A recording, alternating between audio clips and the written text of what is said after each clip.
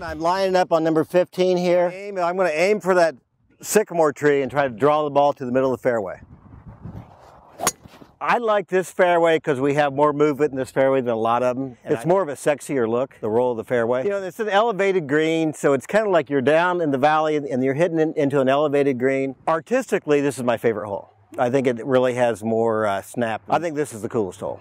I think the bunkering is a lot. It's not extreme. The more these two on the right are more visual to draw you into where they hit the ball. Basically, if you hit the ball to the right there, you should probably move up a few tees. Not the golfers like to do that, but they will when they're punished enough. I'm 200 yards away, so I'm going to hit a fairway wood, a four wood. I'm aiming for the uh, right side of the green because I want to avoid the bunkers on the left. So I'm probably playing the safe shot. I'm just not going to be an aggressive and just I'm going to go for my par.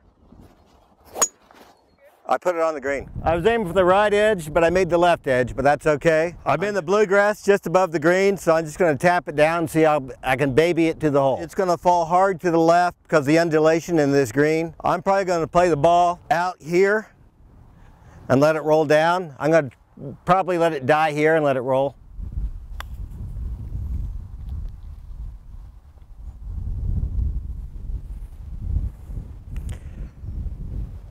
Now I'm below the hole, that's a safe shot, so I'm absolutely delighted with that shot. Now I have a four footer for par.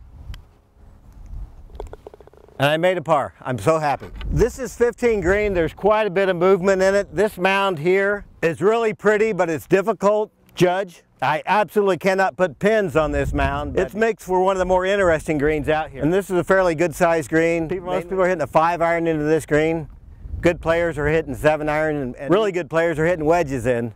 But the slope of this green, it will hold shots. You want greens to be fast, but you want them to be able to hold shots. Golfers are most upset when they hit the green and it bounces off. That's when they want to choke the superintendent. that is my goal, not to get choked.